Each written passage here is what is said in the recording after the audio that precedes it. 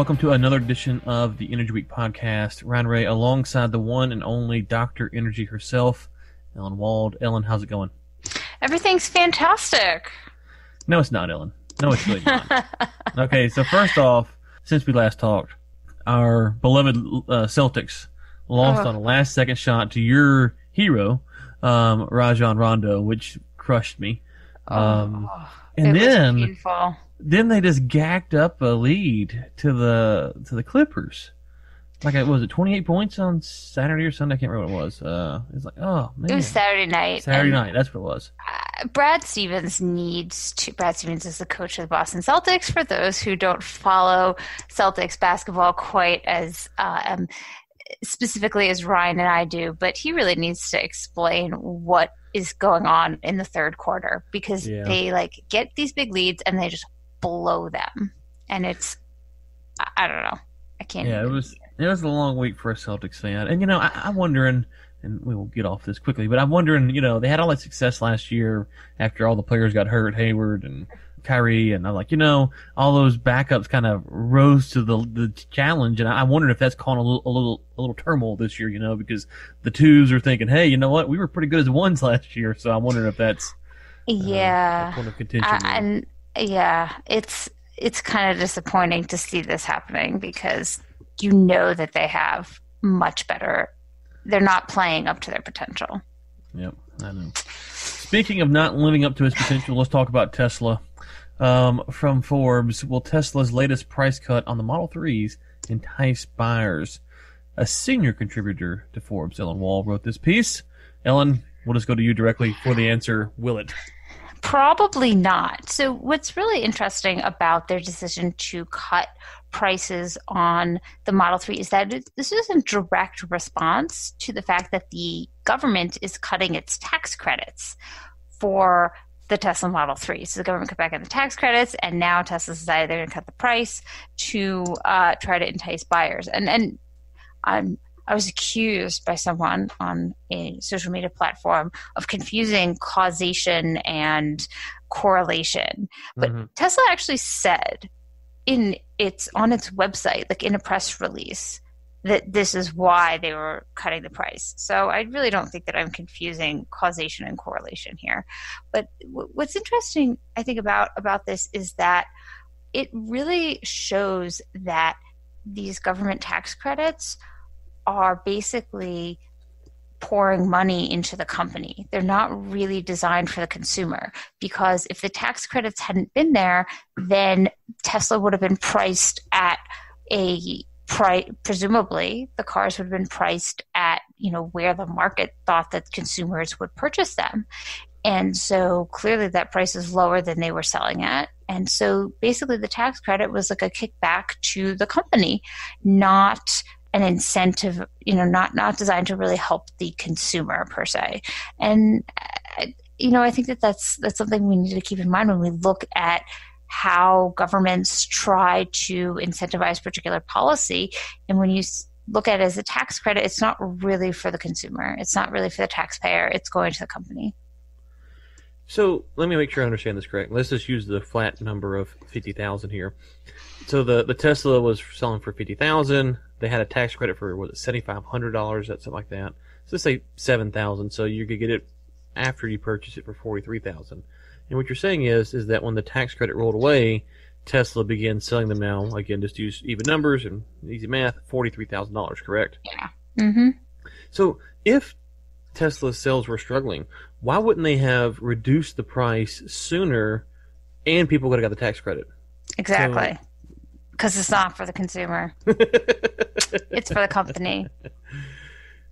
Besides Elon, eh, maybe this is Elon. Why is Elon's company the one that gets the most credit here or the most scrutiny? Because we talked about um, was it two weeks ago the polar vortex or whatever it was, and you know, well, no, actually we, we talked last week and the recording died on us, so there's the the lost archives there. Um, we did talk last week, me and you did, but by ourselves, um, about about the impact of the polar vortex on the electric vehicles. Um, and, and they kind of got a lot of bad press, and our comments was, well, yeah, we're, we're not really surprised based upon how every other battery performs in really cold weather. Um, it's it feels it feels like there's still a hard sell for most of the country because unless you fit in a very near a narrow demographic, um, this EV just probably doesn't work for you. Yeah, and uh, it it really doesn't. I mean, you've got to have either some other form of transportation. Like you, it, it's not working, and cutting the price on the Model Three, I don't think will necessarily attract more buyers because for them, it, it was it's it's it's just taking away the price increase that the lack of the federal tax credit was was was was bringing, and I don't think that it's really going to make it more affordable for people. If EVs were really cheap, like we're talking like less than buying, say, a used internal combustion car, if they were really cheap, then I bet you'd get a lot of people saying, hmm, I could do this for my second car that I'm going to just drive around, you know, the neighborhood. I'm going to do my errands. I'm going to pick up the kids from school. I'm going to go to the park. I'm going to, you know, all the things that you do every day. But, you know, if you can afford to have a vehicle that's really expressly for that purpose. But, you know, when push comes to shove and you want to go, like, you know, visit grandma 200 miles away who doesn't have an EV charging uh, charger in her garage, then, you know, you're not going to take that car. Right. And on top of that, if you say, well, if you look at technology in general, you kind of have this early adopter deal where people are the early adopters and they're the one out there trying it. It doesn't feel like there's enough market penetration for the masses to ask people, like if I wanted to know not what the internet says, but I just wanted to ask someone about a Ford truck, well, obviously I can go next door and find out about a Ford truck. If I want to find out about a Tesla, uh, the person who sold us our house uh, here in Texas had a Tesla, so I could go ask her, but I don't know her that well. And so you, you start trying to say, well, how do you find out, you know, like you're saying, these scenarios and questions, and this is the stuff that you want to ask people. There's just not enough market penetration to kind of feel comfortable with them as well. I think I think that's part of the problem too. Yeah, and and I think and you know people who you talk to someone. I was talking to someone a couple a couple months ago who has a Tesla who loves it, but he doesn't drive it very far. And you know, he says, "I love it. It's great. It's fantastic.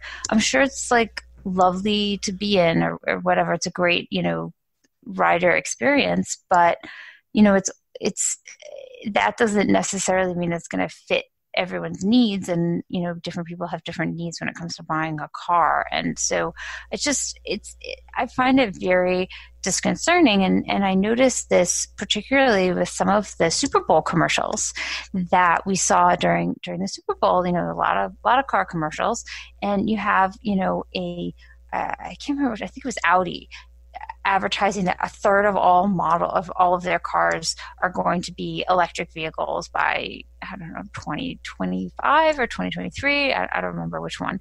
And and they're saying this like that's going to be like some great thing that's going to entice people to buy their cars. It just didn't seem to to me to be something that would be applicable to most people, most consumers who are watching the Super Bowl. But, you know, if you, so I do think that there is kind of a niche market for EVs, like particularly like in turn, maybe, you know, certain kind of taxi services within cities. Because if you're not driving long distances, and you can afford to like you know charge it up all the time uh, and cities that have a lot of smog it could be a great way to reduce smog it's still however a very expensive proposition because these cars are not cheaper than internal combustion engines yeah, and and and uh, cars are expensive as it is. We are looking at buying a new car the other day, and it's like, oh man, you could almost oh, buy uh, a rental property for for that. Oh yeah, no, buying a new it's absolutely insane today to buy buy new cars. They're so expensive, and then and then it's not even thinking about okay, these EVs haven't been along the way. What's going to happen when you need to change the battery? Right, that will happen what what, what do you do? You like if this is a huge giant battery. First of all, where is that battery going to go? You don't just like take it to the dump. No, yeah, there's all kinds of things. Yep, spare parts and yeah, a lot lot of long way to go for the uh, so. they figure out what to do there. Okay, let's turn now to Reuters. Latin America oil prices flows to U.S. jump amid PDVSA restrictions been a lot of talk about Venezuela. We talked about some last week. Uh, you know, I think last week I had the brilliant idea on how to fix Venezuela's problems, and it got lost. oh no, you're right. It's yeah, it had to do. You know, I actually remembered it because I I was talking about it. We, I, I I couldn't get it out of my head because I thought it was such a great idea.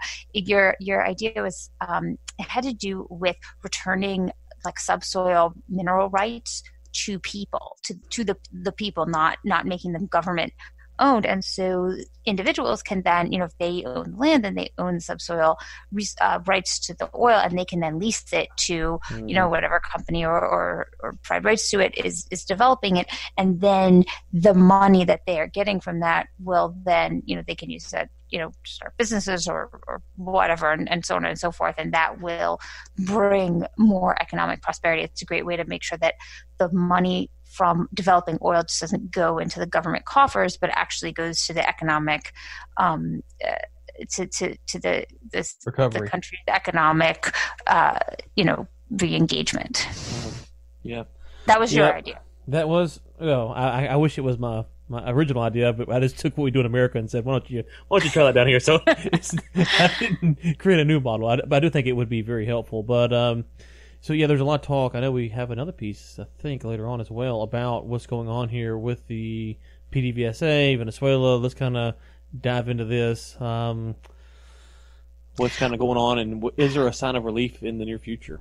So everyone's concerned, you know, Venezuela produces this very heavy oil that certain refineries really need. And so now that Venezuela is not a source for that oil anymore, where are they getting their oil from? And, and I was concerned initially when, when this got started that, say, Citgo, which is basically a, a subsidiary, is a subsidiary of uh, PDVSA, that do they have contracts that only, you know, that I was saying perhaps they have actual contracts that only allow them to import oil from PDVSA and you know or go stations you know gasoline stations only allow them to to sell gasoline produced by Citgo.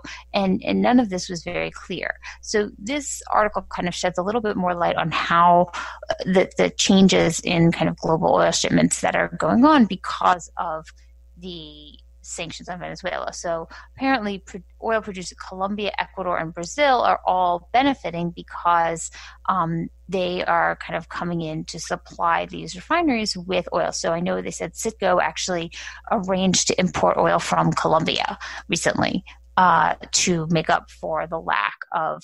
Um, you know, of oil from Venezuela. And, and it's kind of interesting because all of a sudden everyone is very, very focused on all the different types of crude oil. You know, as before it was like, oh, there's WTI, there's Brent, there's light oil, there's heavy oil. Now it's like, we're all learning these very specific names. So it says um, that Valero Energy, which uh, also used to import from Venezuela, is now getting uh, about 500,000 barrels of um, uh, a, a blend of oil from Colombia called Castilla blend.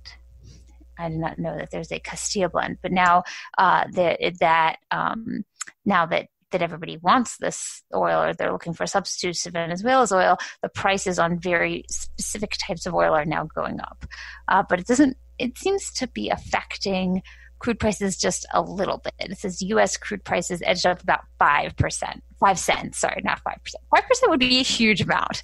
Five yeah. cents on a barrel on Friday, which really is not that much. So, you know, one of the things that I and, and I know we have some folks that I mean you know personally, but I would love to get someone on here just to kind of talk about this. Is there was an article from Bloomberg the other day that someone tagged me in about the different blends and, and you know um, the, the need to blend them, but what I don't, I guess where I kind of get lost on is if you look at Exxon and Chevron, both announced. I think Chevron's buying a facility here in the U.S. or in Mexico, I can't remember. Um, and then Exxon's expanding one of their plants, refineries, um, to incorporate more of this light sweet crude we have here in the United States. And so, where I kind of get lost on this discussion is I understand right now we need to blend the oil, but my question is, is is that a forever thing? Because it seems like the producers, um, not the producers, the refining companies are expanding their capacity for light sweet crude. Um, and you could say, well, we expect the demand for oil to go up, and so we need 10% light sweet crude, and so we're just got to expand to accommodate more um, more oil in general, which it only includes 10% light sweet crude. But but it feels like, and maybe I'm missing this, but it feels like there's a sense where there's going to be more light sweet crude used. So long term, will we need these heavy crudes? And I don't really understand. I don't really fully have a a good grasp on where it's heading, but I don't really get there's a, a consensus in that debate either. Yeah, so I actually asked. Um, it's it's a great question, and, and I've been wondering this too. So I actually talked to uh, one of the guys who works at the uh, EIA, um, we chatted on you know direct message on Twitter a little bit about the different uh, blends of oil, and he's saying that so there are some things that we produce that you really do want this he called it heavy sludgy oil um, mm that, you really do want like asphalt mm-hmm. for example mm-hmm. apparently that's that's what you got to use so there are certain plants that really really rely on this stuff and that's not going to change so we're still going to mm-hmm. have some demand for this kind of stuff from you know from from to make certain products uh, to me it almost seems like if the oil is available, there'll still be a demand for it.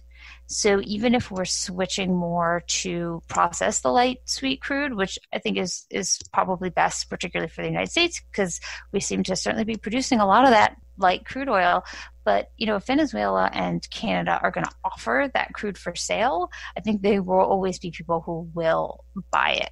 With Venezuela, the way I understand the issue is that it's so heavy and so sludgy that they can't even get it to really move through the pipelines without mm. these upgrader units and without mixing it with all this other stuff.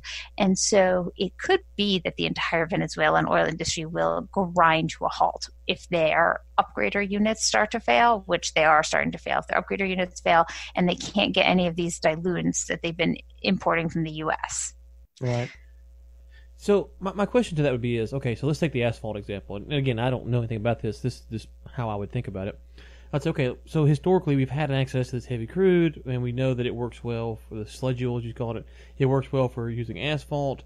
Um, but now that we know we have access to light sweet crude, will people sit down and go, you know what? Before, so is it a matter of before we didn't have um, access to as much light sweet crude, so people didn't try to use it to develop this as asphalt. Asphalt because they knew we had excess or a lot of um, capacity to bring in the heavy oil. So now that we have the access to light sweet crude, will people go in there and say, well, you know what, we've got this light sweet crude, we can bring it in, we can bring it from overseas, da da da, and can we make, can we now make asphalt? And that's, and so, um, because sometimes like the asphalt, just to use that, it may be where only the heavy oil chemically can can work with it, or is it a matter of well, we just haven't done enough testing to try it with mm. a lighter lighter crude? Um, but in theory, it could be, and that's kind of where. So I get what they're saying. I guess I'm just curious. Look, you know, we, we we develop all kinds of stuff that we said, well, we couldn't do that. Now we can do it. So I'm I'm just that's where I'm always curious in these debates. How much of this is really set in stone, and how much of it is really just based upon we've developed to to build out certain things because of what the supply was before. But sometimes if we put in all of this this investment into it, people will be very, very hesitant to let go. Right. No, exactly. Exactly. So, and I, I, mean, I would guess like if we're not going to use it, somebody else will, like China or India. I mean, the, the price could plummet. I mean, we could, I mean, already, like if you looked, I mean, like the prices on, um, on Western Canadian Select and, and on, we're already like so much lower mm. than um, you know than than oil prices ever. You could I wonder though if this trend continues in refining, if we will just see, it, it will almost be like maybe we shouldn't even call it oil. like maybe it should be treated as, as something else specific because the price differential will be so great that you know we'll be like well brent went up this much or w went wti went up this much but you know that other stuff that is kind of like oil is you know still two dollars a barrel yeah, we need to get the head of refining for Chevron or Exxon or someone or Shell. Yeah.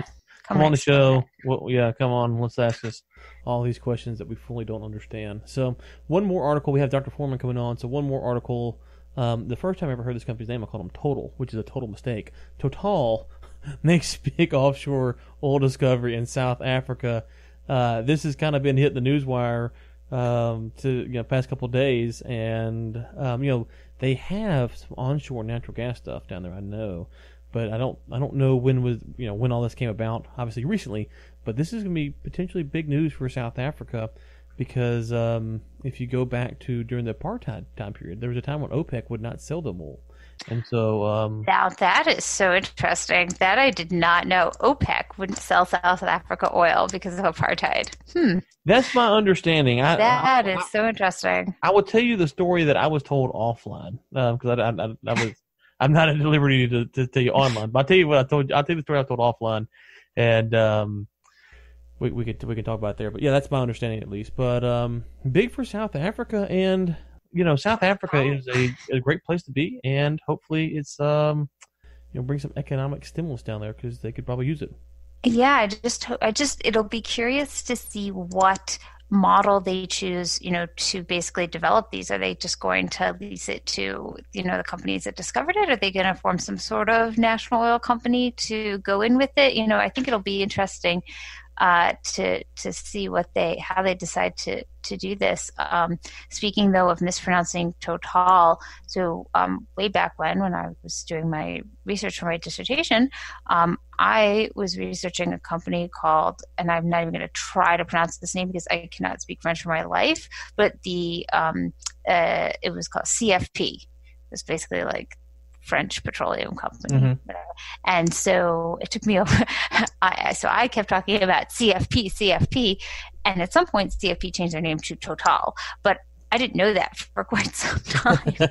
so I kept calling it CFP. And people were like, what? What are you talking about? CFP, you know, the French oil company, like Total yeah, my knowledge of this stuff stops in you know like 1960. So.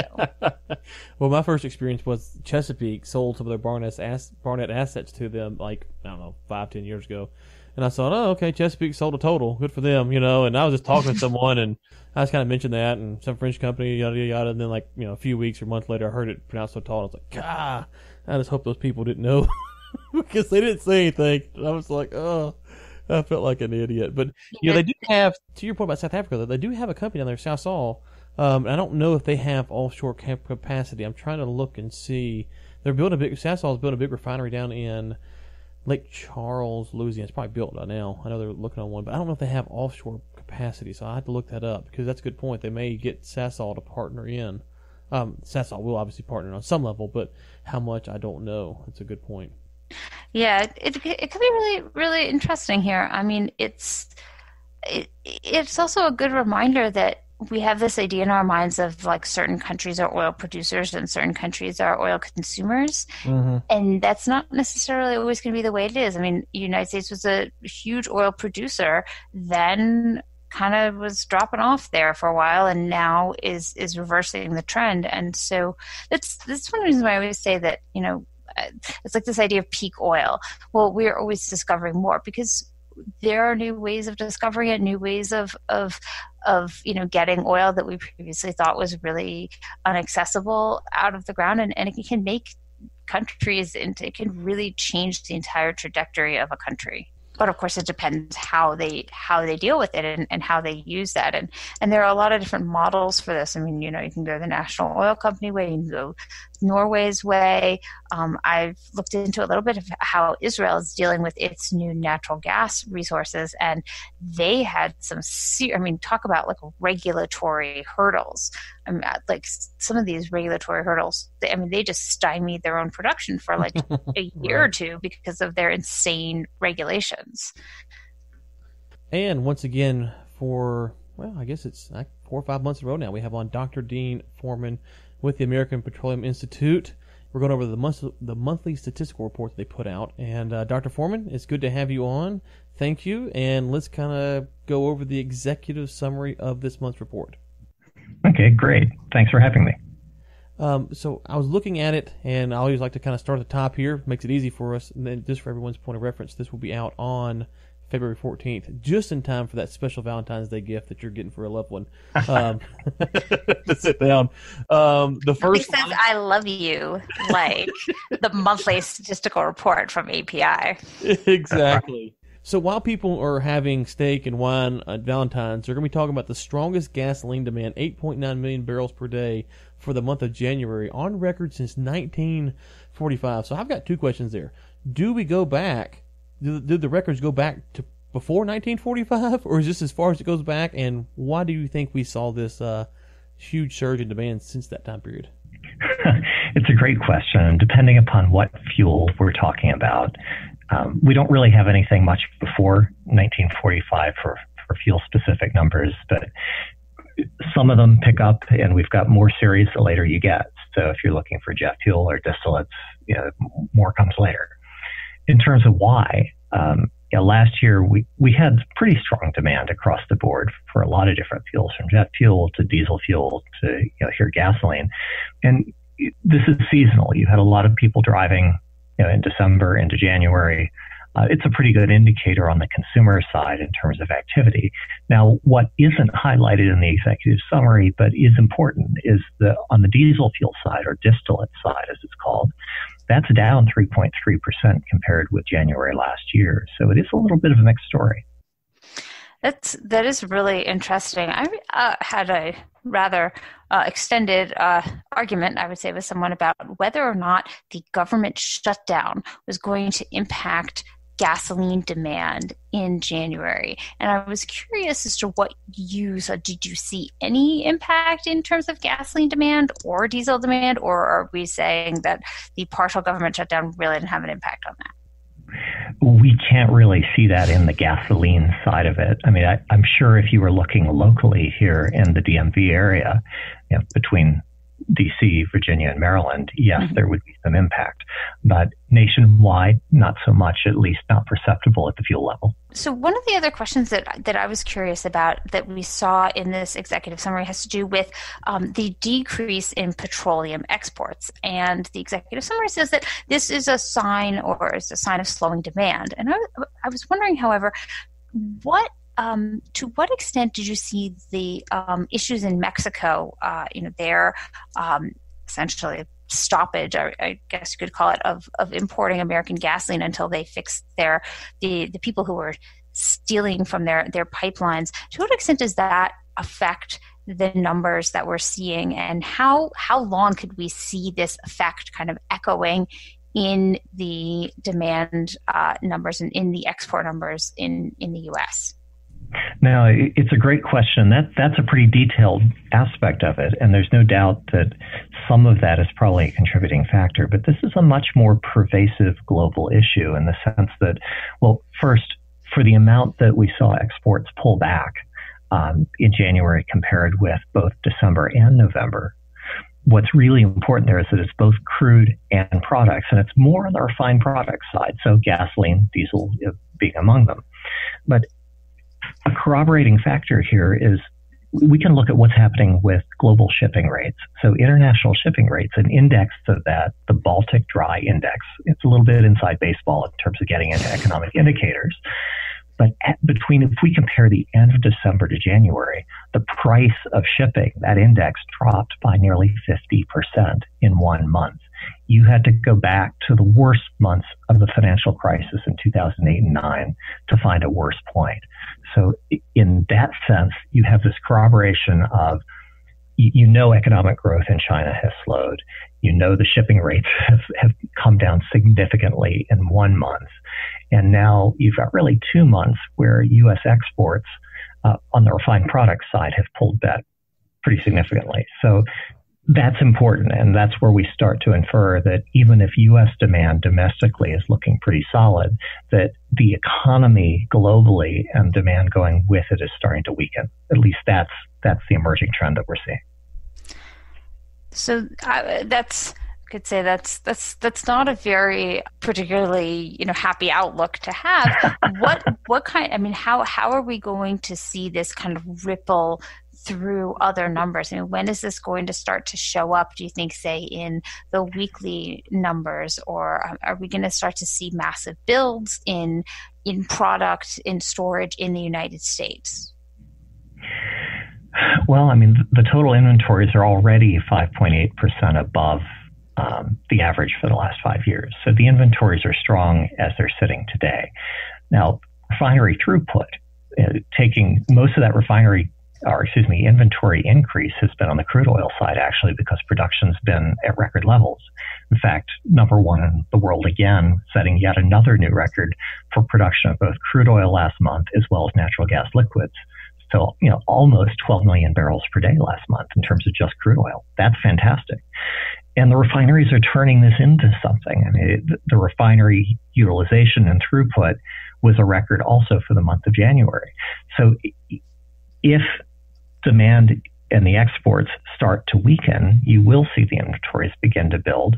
Um, you know, at this point, domestic demand's kind of been helping bail out the boat, but there's some water coming into it each month, and that's what we're looking at. Is it, it's not to tell a happy versus unhappy story. We just try to put the numbers out there and tell it like it is. Mm-hmm. We combine these data into an economic indicator. So we combine the industry fundamentals, supply and demand, with some price indicators and interest rate indicators, and that's that indicator is telling us that industrial production in the U.S. looks like it's going to slow. So that's where we are.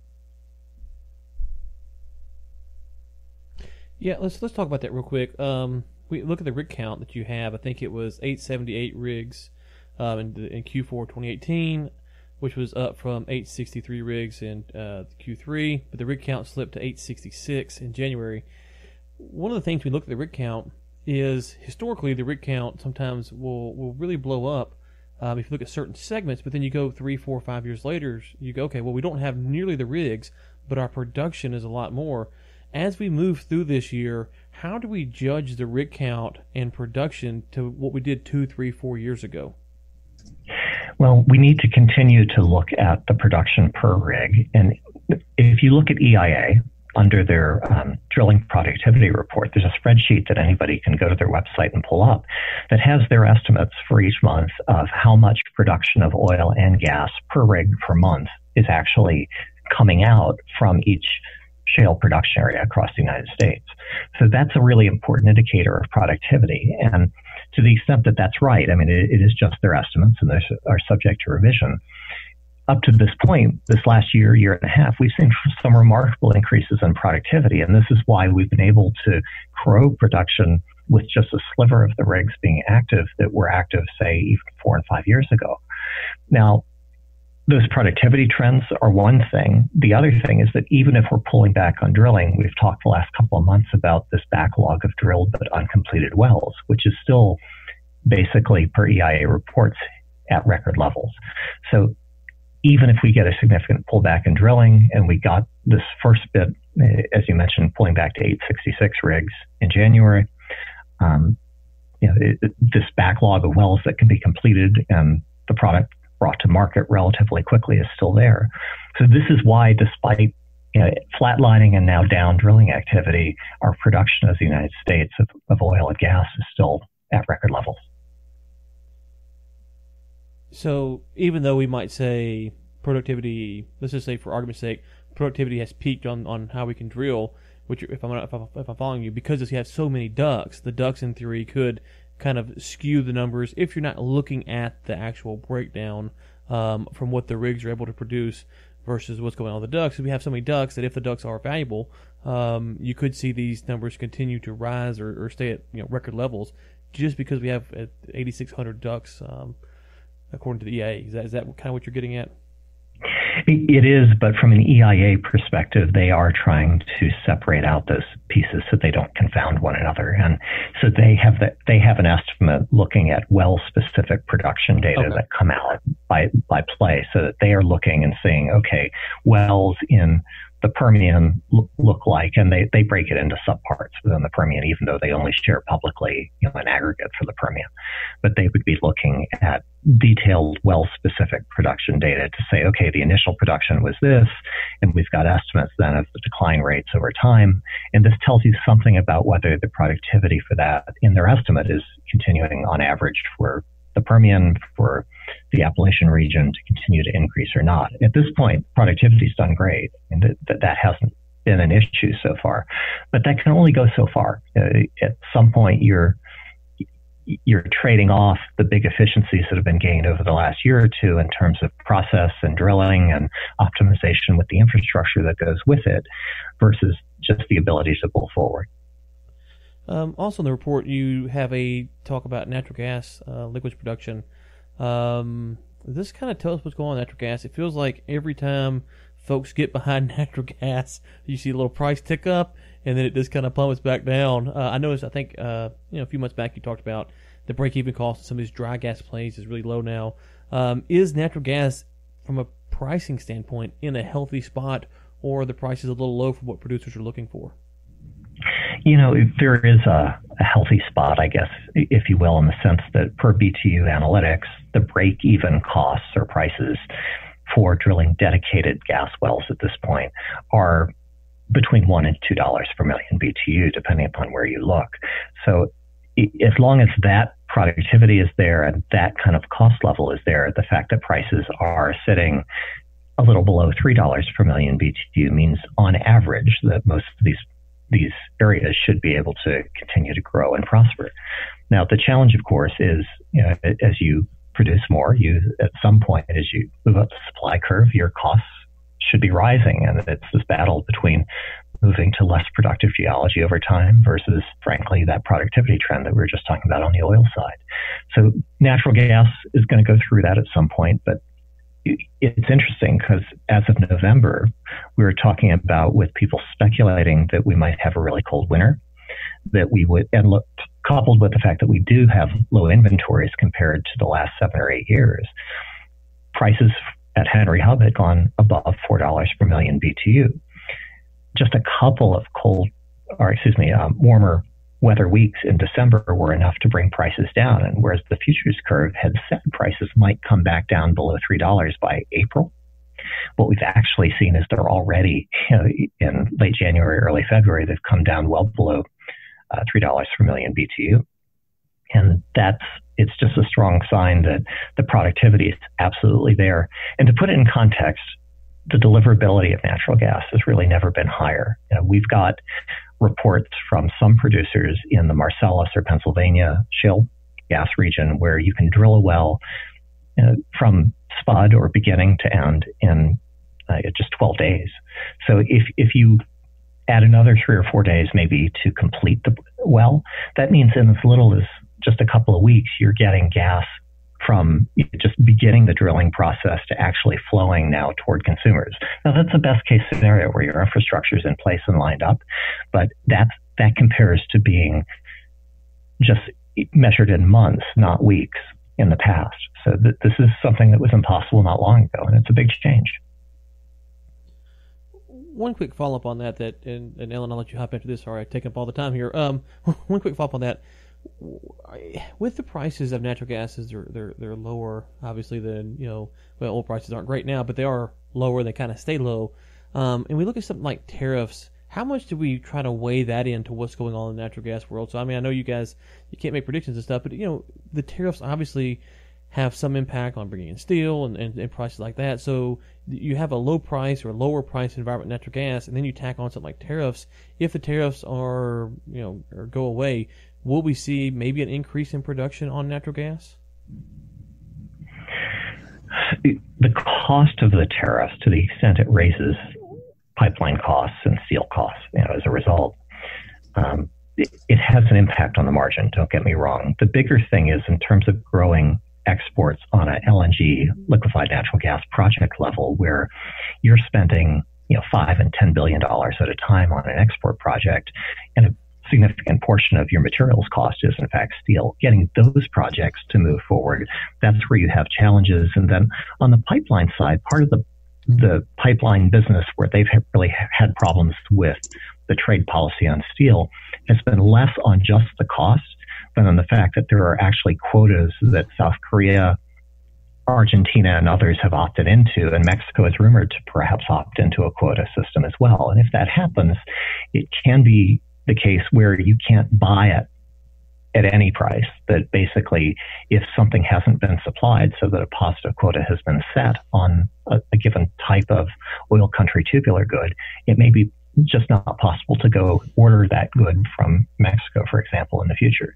So to the extent that your operations integrity and your ability to complete a project depends on being able to get certain materials, that's where the rubber hits the road. And this is the kind of thing that, you know, again, it gets into the details, and the devil is in the details of the specific kinds of materials, the quality of materials, and the fit of it. Uh, the quality ends up being really important to make sure that you're, again, maintaining really high operations integrity.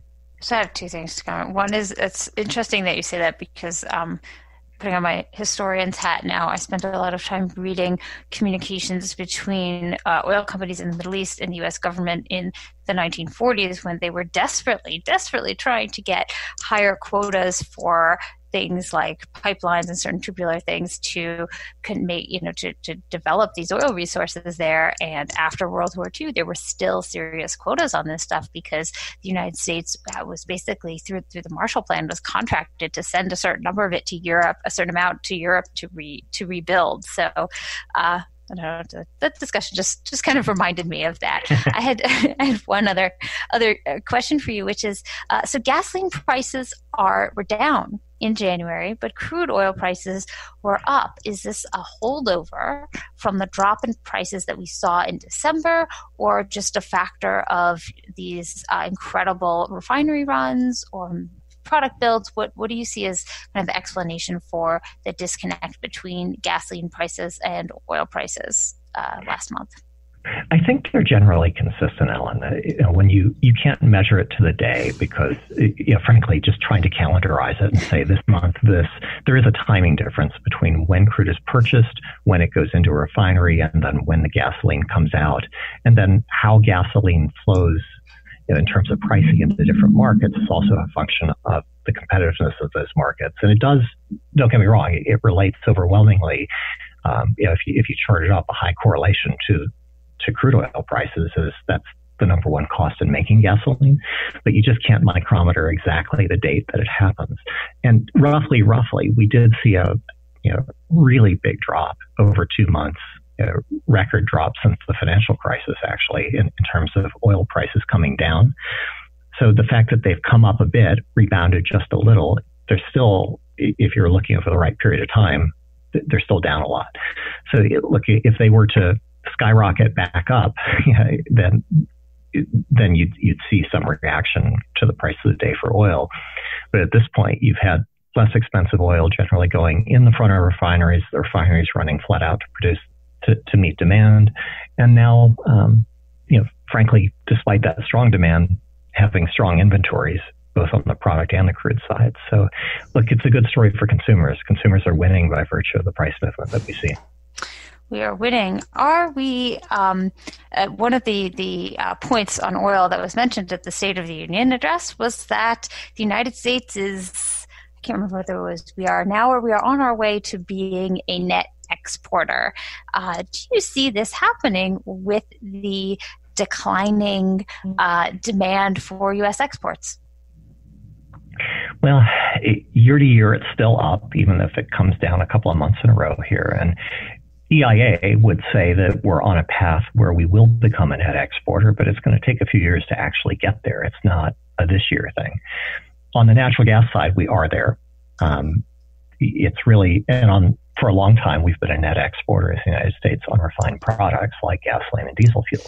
It's the crude oil side, which last month, uh, or excuse me, in the previous month when we went to December, was hitting a record of 2.4 million barrels per day, and that backslid by 100,000 barrels to 2.3 million barrels per day in January.